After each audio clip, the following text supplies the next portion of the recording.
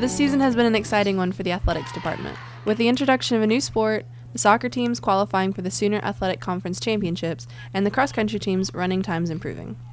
USAO introduced volleyball this year. Coach Sherry Diley brought in a group of hardworking, energetic players that provided the campus another opportunity to cheer on fellow student athletes. The youthful Drovers picked up a handful of wins against some very tough competition and gained valuable experience that promises to help them considerably going forward in the future.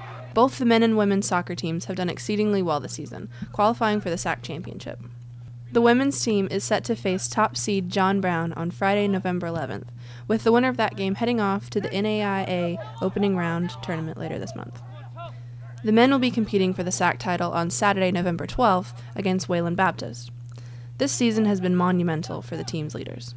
I want everyone to win, I want everyone to do the best, and, and the desire to win is always there. So just that leadership role just just come from, like I said, last year, just taking a back seat and, and taking into my game this year and trying to trying to push the team forward to get the wins. Cross country wrapped up its season by running at the Sooner Athletic Conference Championship.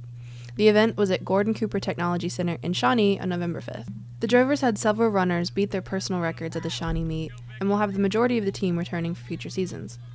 Coach Sid Hudson has already signed several new recruits that promise to bolster the lineup in 2017. For Around the Oval, I'm Allison Collins.